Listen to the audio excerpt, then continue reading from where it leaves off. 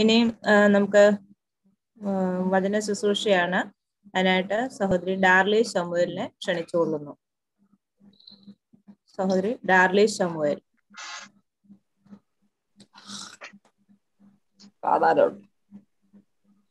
ദൈവനാമത്തിന് മൗത്വം ഉണ്ടാകട്ടെ.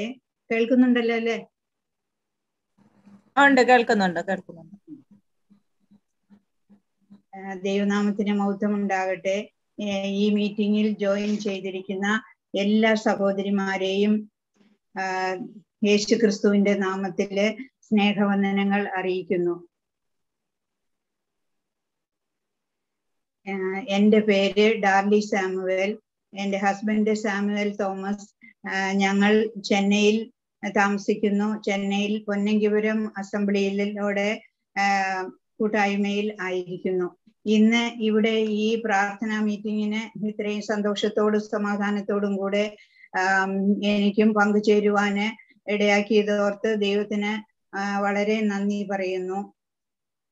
കൂടാതെ വളരെ വചനത്തിൽ നിന്നും പരിജ്ഞാനവും അനുഭവവുമുള്ള സഹോദരിമാരുടെ മധ്യത്തിൽ വചനം ഒരു മെസ്സേജ് പറയുക എന്നുള്ളത് ചെറിയ കാര്യമല്ല. നിങ്ങൾ എല്ലാവരും എനിക്ക് വേണ്ടി പ്രാർത്ഥിക്കുന്നുണ്ട് എന്നറിയാം. തുടർന്നും എനിക്കായിട്ട് പ്രാർത്ഥിക്കണമെന്ന് പ്രാർത്ഥനയോടെ ഇരിക്കണമെന്ന് അപേക്ഷിക്കുന്നു. ഇടവിടാതെ പ്രാർത്ഥിക്കുക. നാം ദിവസവും എല്ലായ്പ്പോഴും ചെയ്തുകൊണ്ടിരിക്കേണ്ട പല വിഷയങ്ങൾ ബൈബിളിൽ പറഞ്ഞിട്ടുണ്ടല്ലോ. എപ്പോഴും സന്തോഷിപ്പീൻ ഇടവിടാതെ പ്രാർത്ഥിക്കുവിൻ. എല്ലാ കാലത്തും യഹോവയിൽ ആശ്രയിപ്പീൻ. എല്ലാറ്റിനായും സ്തോത്രം ചെയ്യുവിൻ. അങ്ങനെ അതിൽ ഒരു കാര്യമാണ് ഇടവിടാതെ പ്രാർത്ഥിക്കുക എന്നത്. ഈ പ്രാർത്ഥനയോടുള്ള ബന്ധത്തിൽ യഹോഷഫാത്തിന്റെ പ്രാർത്ഥനയെ കുറിച്ച് നമുക്ക് അല്പമായിട്ട് ചിന്തിക്കാം. അതിനായി ഒരു വേദഭാഗം വായിക്കാം. രണ്ട് ദിനവൃത്താന്തം.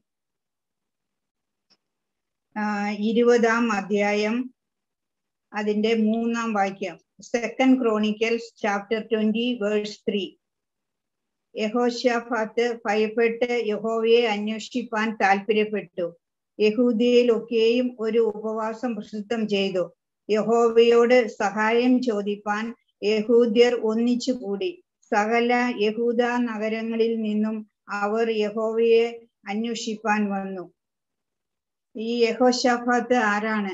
ഒരു യഹൂദ രാജാവാണ് യഹൂ യഹോഷഫാത്ത് അതുകൂടാതെ ദാവീദിന്റെ ജനറേഷനിലെ ആറാമത്തെ തലമുറക്കാരനാണ് ഈ യഹോഷാഫാത്ത് ദാവീദ് ദാവീദിന്റെ മകൻ ഷലോമോൻ ഷലോമോന്റെ മകൻ രഹബയാവ് രഹബയാവിന്റെ മകൻ അബിയാവ് അബിയാവിന്റെ മകൻ ആസ ആസയുടെ മകനാണ് ഈ യഹോഷാഫാത്ത് നമ്മൾ ഈ രാജാക്കന്മാരെ കുറിച്ച് പഠിക്കുമ്പോൾ ദൈവത്തിന് പ്രസാദകരമായ രാജാക്കന്മാരും ദൈവത്തിന് അനിഷ്ടമായിട്ടുള്ള രാജാക്കന്മാരെ കുറിച്ച് നമുക്ക് കാണുവാൻ സാധിക്കും.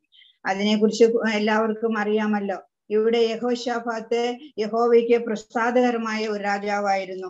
നം ഈ രണ്ട് ദിനവൃത്താന്തം പതിനേഴാം അധ്യായം മൂന്നാം വാക്യത്തിൽ മൂന്ന് നാല് വാക്യത്തിൽ നാം അത് കാണുന്നുണ്ട്. തന്റെ പിതാവിന്റെ ദൈവത്തെ അന്വേഷിക്കുകയും ഇസ്രായേലിന്റെ ആചാരപ്രകാരം നടക്കാതെ ദൈവത്തിന്റെ കൽപ്പനകളെ അനുസരിച്ച് നടക്കുകയും ചെയ്തതുകൊണ്ട് യഹോവ അവനോട് കൂടെ ഉണ്ടായിരുന്നു.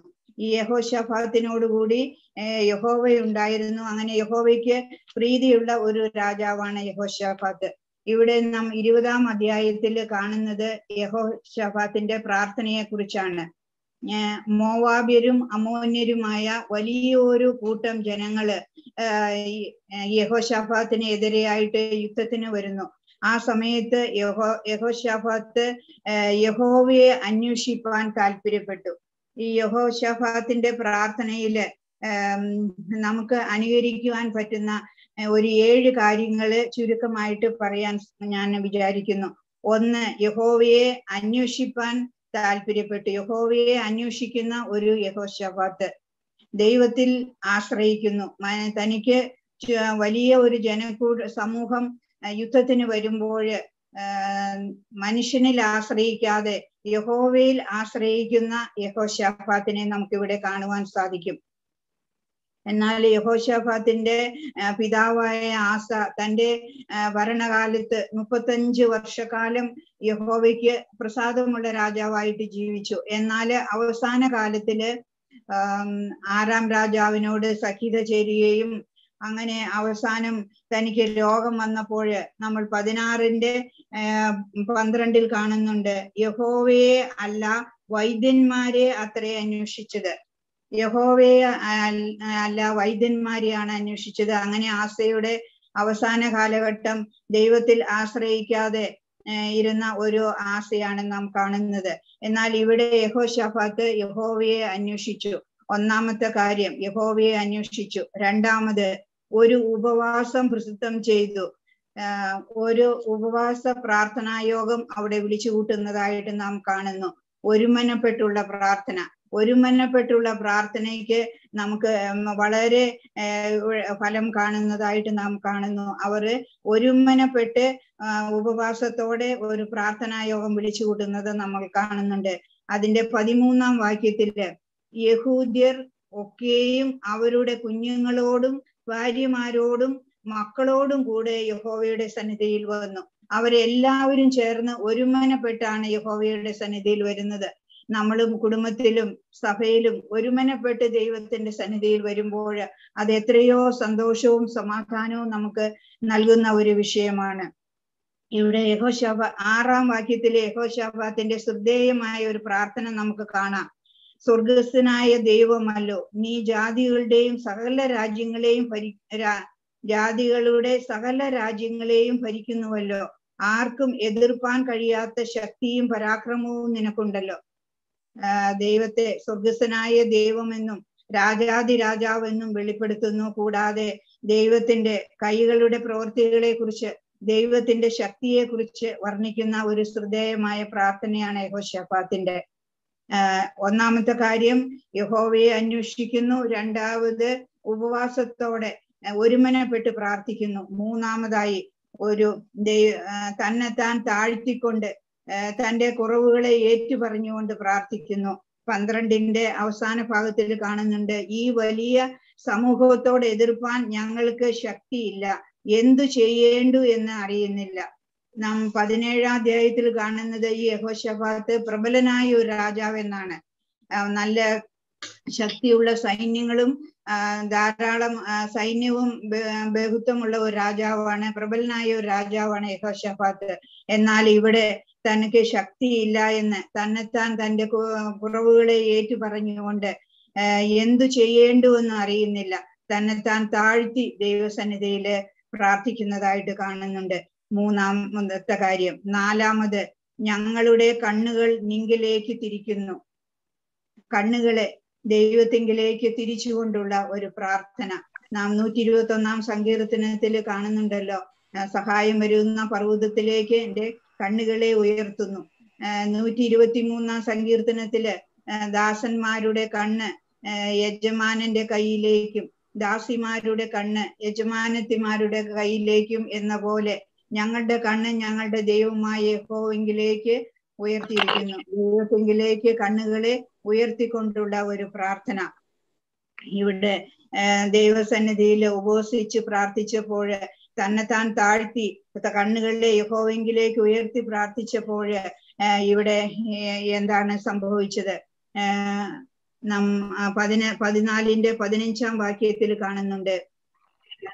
ബനയാവിന്റെ മകനായ സെക്രിയാവിന്റെ മകൻ യഹസിയേൽ എന്ന ഒരു ലേവിന്റെ മേൽ വന്നു. ദൈവത്തിന്റെ അരുളപ്പാട്. ദൈവം യഹസിയേൽ മുഖാന്തരം അരളി ചെയ്യുകയാണ് ഈ വലിയ സമൂഹം നിമിത്തം ഈ വലിയ സമൂഹം നിമിത്തം ഭയപ്പെടരുത് ഭ്രമിക്കരുത്.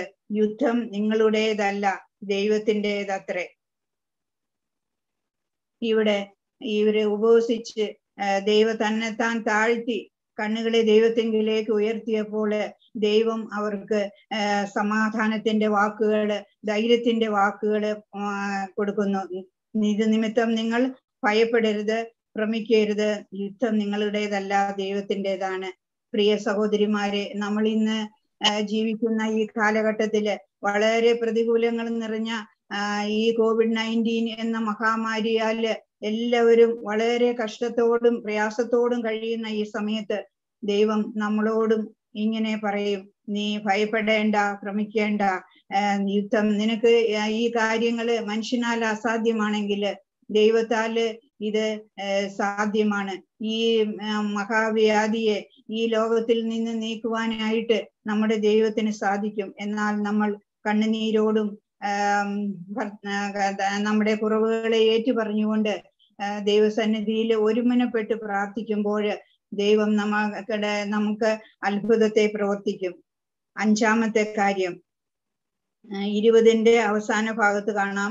നിങ്ങളുടെ ദൈവമായ യഹോവയിൽ വിശ്വസിപ്പീൻ. വിശ്വസിച്ചുകൊണ്ടുള്ള പ്രാർത്ഥന. നമ്മൾ വിശ്വാസത്തോടെ പ്രാർത്ഥിക്കുമ്പോൾ ദൈവം അത് നമുക്ക് നൽകി തരും നം എല്ലാ വാക്യവും ഞാൻ എടുത്തു വായിക്കുന്നില്ല. മർക്കോസ് പതിനൊന്നിന്റെ ഇരുപത്തിനാലിൽ കാണുന്നുണ്ടല്ലോ. അതുകൊണ്ട് നിങ്ങൾ പ്രാർത്ഥിക്കുമ്പോൾ നിങ്ങൾ യാചിക്കുന്നതൊക്കെയും ലഭിക്കേണ്ടതിന് ദൈവത്തോട് വിശ്വാസത്തോടെ പ്രാർത്ഥിപ്പീൻ എന്നാൽ അത് നിങ്ങൾക്കുണ്ടാകും.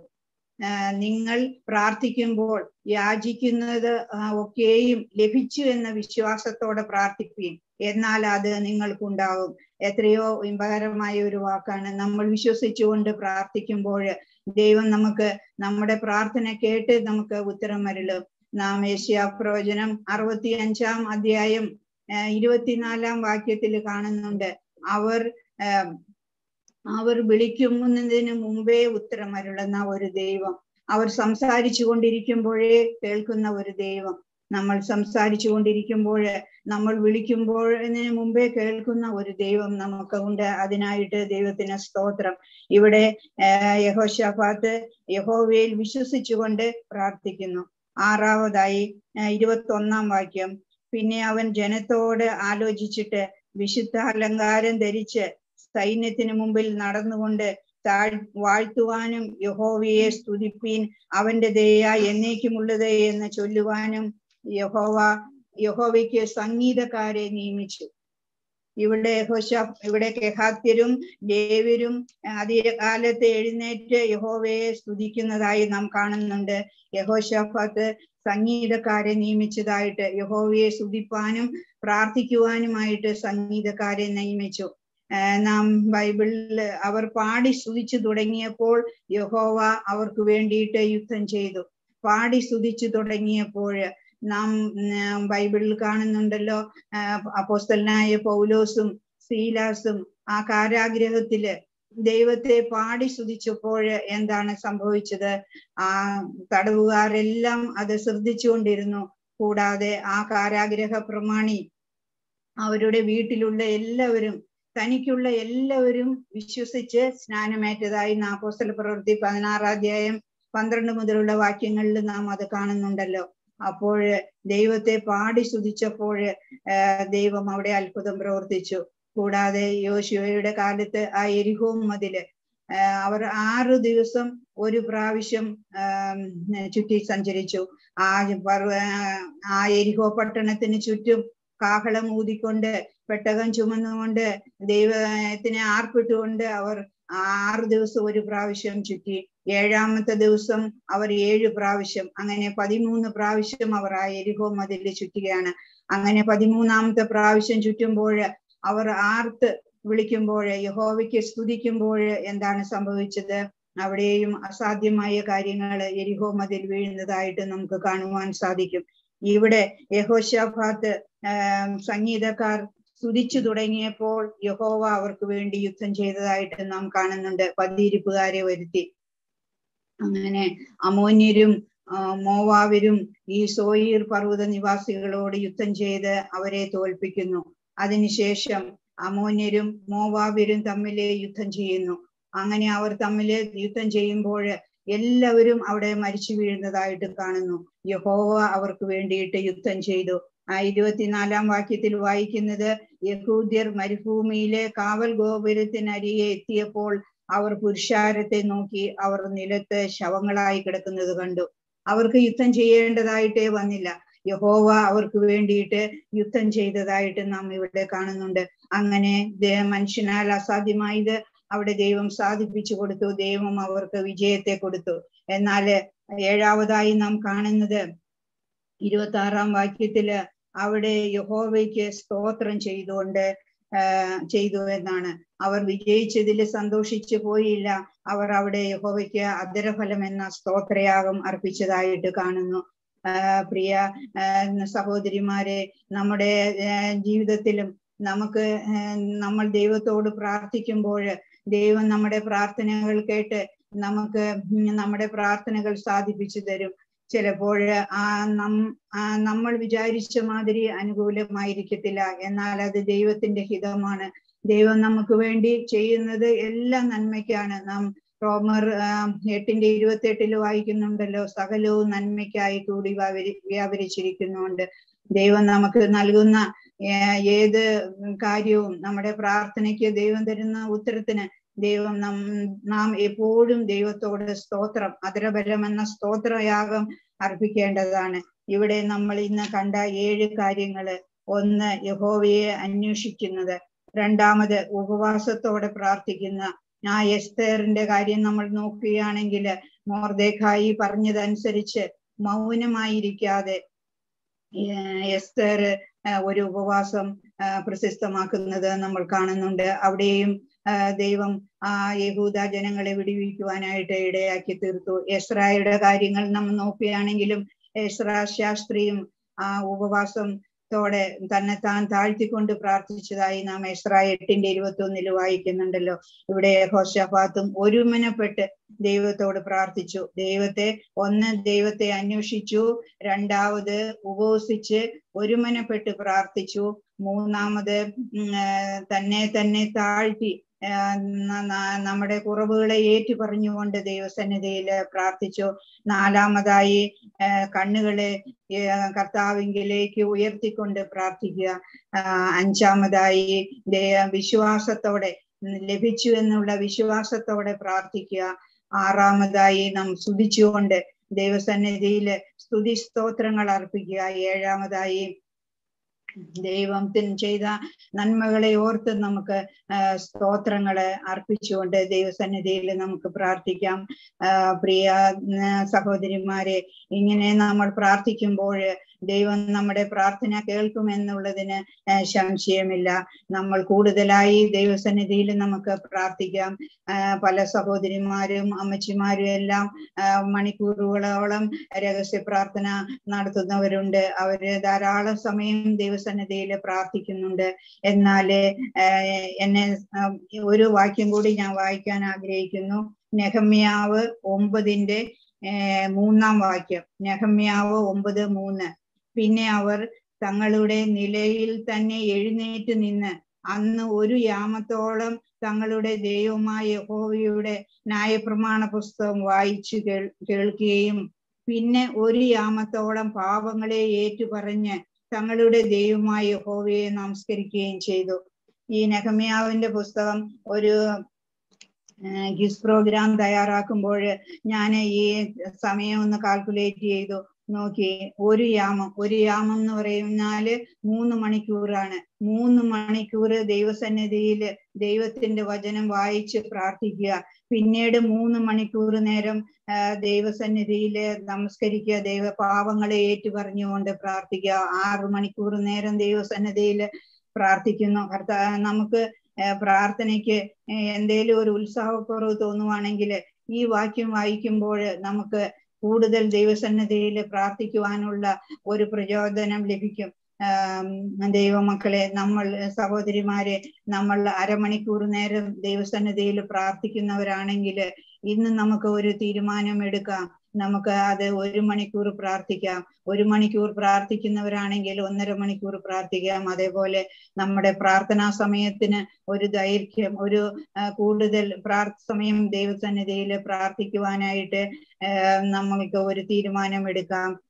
ഇന്ന് നമ്മൾ കേട്ട വചനം പോലെ ദൈവസന്നിധിയിൽ കൂടുതൽ സമയം ഇടവിടാതെ പ്രാർത്ഥിക്കുവാൻ തക്കവണ്ണം കണ്ണുനീരോടെ ആ കണ്ണുകളിലേക്ക് നോക്കിക്കൊണ്ട് തന്നെ താനെ താഴ്ത്തിക്കൊണ്ട് ഒരുമനപ്പെട്ട് വിശ്വാസത്തോടെ പ്രാർത്ഥിക്കുവാനായിട്ട് ദൈവം നമ്മളെ ഓരോരുത്തരെയും സഹായിക്കട്ടെ. ഇങ്ങനെ ഇന്ന് എനിക്ക് ഇങ്ങനെ ഒരു സന്ദർഭം ഒരുക്കി തന്ന ദൈവത്തിന് ഞാൻ പ്രത്യേകം നന്ദി പറയുന്നു. കൂടാതെ ഷീബ സിസ്റ്റർക്ക് എന്റെ നന്ദി ഞാൻ രേഖപ്പെടുത്തുന്നു. ഇങ്ങനെ ഒരു അവസരം എനിക്ക് ഒരുക്കി തന്നതിനായിട്ട് ഇന്നിവിടെ കൂടിയിരിക്കുന്ന എല്ലാ സഹോദരിമാരോടും ഒരു പ്രാവശ്യം കൂടി എന്റെ നന്ദി അറിയിച്ചു കൊള്ളുന്നു. ദൈവനാമം വാഴ്ത്തപ്പെടുമാറാകട്ടെ.